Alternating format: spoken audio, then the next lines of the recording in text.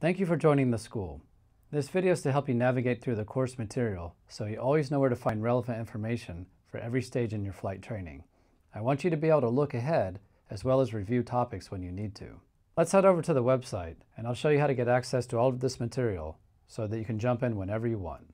Once you're on the website, just head over to the online classes page using the menu above. You can use the login link at the top to create an account if you haven't done so already. You can use email, Facebook, or Google to do so. It may take about 24 hours to get access. Once you're approved, you can use the same navigation bar. Just click your name, then visit the Student Resources section. In this area, you'll find all of our training resources. It includes instructional videos, articles for kiting exercises, dialing in the landing, and glossary of PG terms. You'll also find the entire PG course curriculum and syllabus listed in one infographic, so you can look back on all the steps and make sure you're not missing anything. Jump over to the video section and you'll find all kinds of information here to help you.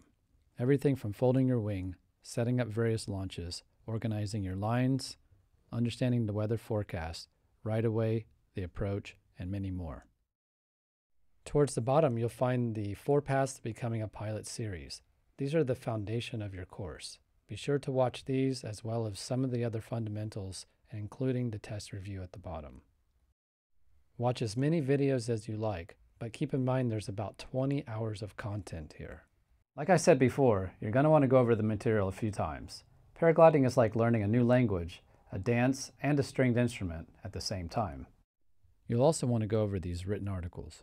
They're designed to help you make the most of your time while you're visiting the air park. There's articles about kiting, setting up the approach, and a glossary of all the PG terms.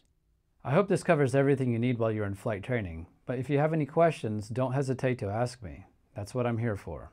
Learning to paraglide is an amazing journey, and I'll take every step with you as you become your best. My favorite part is watching you go from dreamer to pilot in just a few days. So when you're ready, I'll see you on the LZ.